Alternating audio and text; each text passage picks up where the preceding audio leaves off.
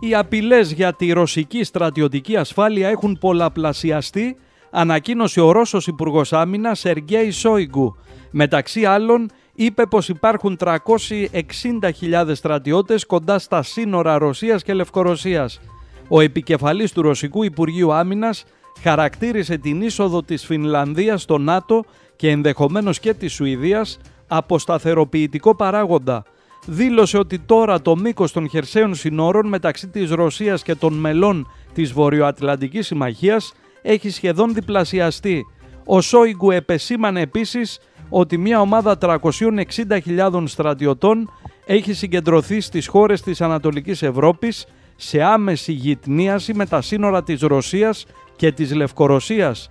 Με τις ένοπλες δυνάμεις των χωρών της Ανατολικής Ευρώπης, περίπου 360.000 στρατιώτες, 8.000 τεθωρακισμένα οχήματα, 6.000 συστήματα πυροβολικού και όλμη, 650 αεροπλάνα και ελικόπτερα, αναπτύσσονται σε άμεση γυτνίαση με τα σύνορα του Ομοσπονδιακού κράτους, είπε και πρόσθεσε και τα εξής.